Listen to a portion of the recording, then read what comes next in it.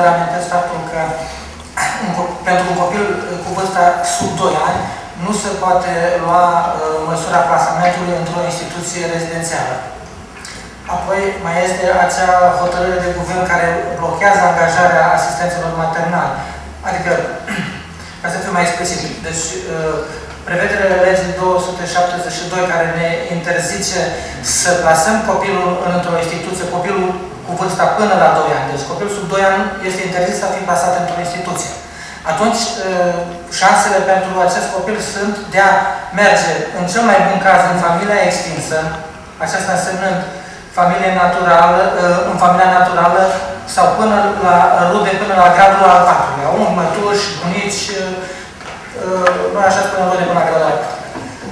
Dacă nu există această posibilitate, fie familiile nu au condiții, fie nu vor, atunci uh, altă variantă rămâne plasamentul copilului în rețeaua de asistență maternală. Aici avem mari probleme. Uh, rețeaua de asistență maternală în momentul de față este supraaglomerată.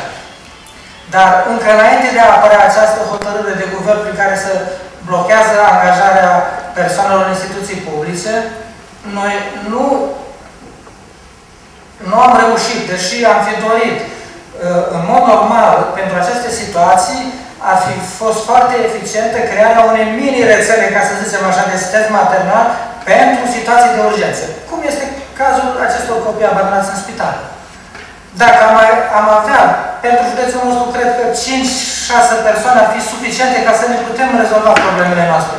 Ori, din motive de legislație, din motive de birocrație, nu se poate înființa această rețea. Și, din câte știu, în țară, niciun județ nu are înființat uh, această rețea în țară, nu, nu sunt niciun, niciun județ nu are înființat această rețea. Unele direcții au găsit soluții prin uh, uh, colaborarea cu unele fundații, care fundațiile au angajat uh, ele un număr de, de persoane pentru a fi asistent maternal în regim de urgență.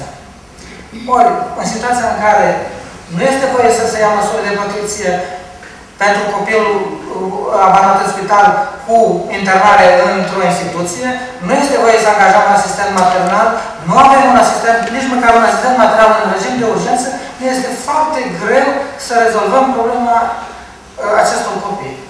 Și în momentul de față, într-adevăr, sunt în județ șapte copii abandonați, șase aici în Bistrița, unul în Beclean.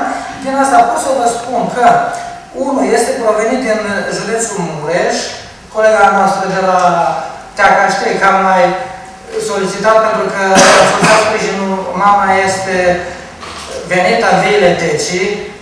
Nu știu dacă în momentul de față, noi am căutat-o în ultima vreme de mai multe. Așa aveam informații, am fost să mai verificăm o dată. Deci este un copil din județul Mureș, iar celălalt care se spunea că a fost născut la, la Pepeni, așa, este rezolvată situația lui.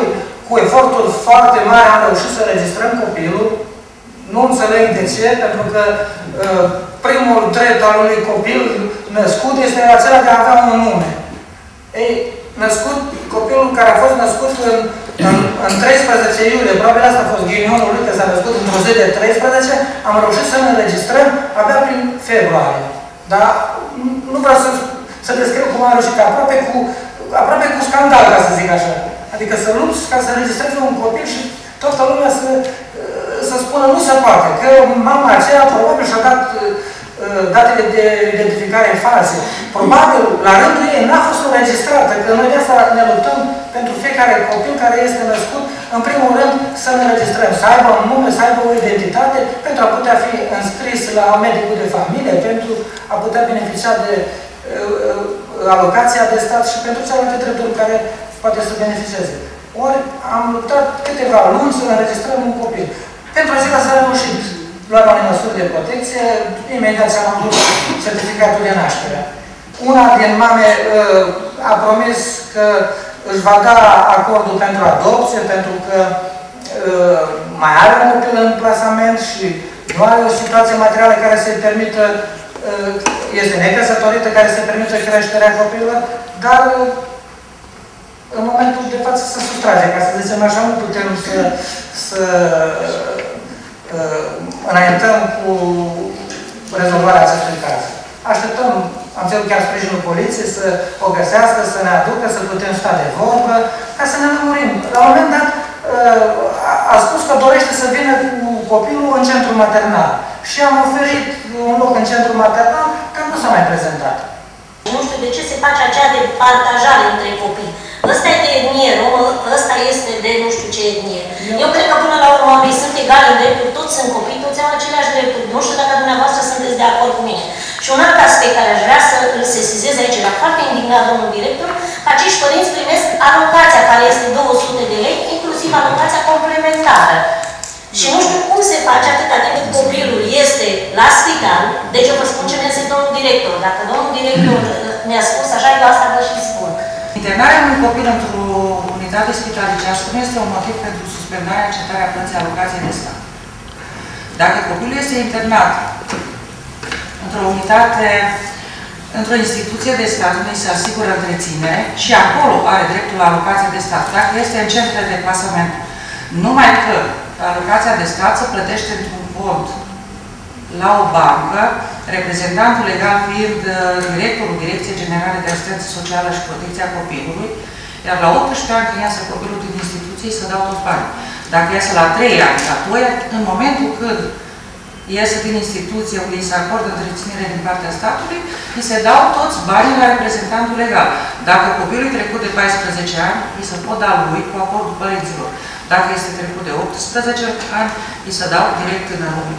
Deci nu există uh, posibilitatea ca în momentul când copilul, la oricare dintre noi care suntem aici, să internează în spital să nu-i dăm alocația de stat. Nu este un motiv. Uh, boala unui copil să nu aibă dreptul să ia alocația. Ceea ce discutăm noi aici sunt cazuri izolate. Șase copii care iau alocația de stat. S-ar putea, dacă nu au avut documente și nu au certificate de naștere și asta, sigur nu iau alocația de stat. Pentru că alocația de stat se dă în baza actului de naștere. Dar e drept universal, uh, nu există nici o portiță. Încetarea dreptului se face la alocație de stat numai în momentul în care a decedat copilul până la 18 ani. Are dreptul și trebuie să-i asigurăm această plată. Până la 14 ani, direct reprezentantului legal. Acum să nu crezi că numai așa să părinții responsabili și de alocația de stat a copilului. Din experiența de 20 de ani de când de prestații sociale am întâlnit foarte mult. Sigur, noi trebuie să lucrăm cu acești oameni și inclusiv prin mediatori, prin lucrătorii sociali de la primării, noi instituțiile, Agenția de Prestații, Protecția Copilului, tot, trebuie să concurăm spre același țări, să educăm cât de cât să banii care se dau pentru copii să ajungă la copil. Dar ca să nu-i dăm deloc, din moment ce e un drept prin lege stabilit la un copil, putem să îl oprim. Alocația complementară, într-adevăr, sau monoparentală se dă numai dacă copilul se află în, în întreținerea și a familiei. Dar iar revin și spun că dacă un copil, Doamne ferește, este bolnav, săracul și stă trei luni, nu un motiv să sistăm dreptul la alocație complementară. Pentru că pe lângă cei șase copii, noi avem spitalele pline de copii. Și atunci să le reținem la toți alocațiile complementare, de să-i frustrăm, statul le dă un drept și noi să-i livrăm, parcă n-aș putea așa ceva. Pentru că sunt atâția care au nevoie de banii ăștia. Trebuie să găsim soluții pentru cei șase copii, să discutăm cu părinții lor, să-i conștientizăm și, dacă nu, protecția copilului, asistență maternală, plasament. Se referește la faptul că Am înțeles. spitalul a eliberat certificatele constatatoare ale nașterii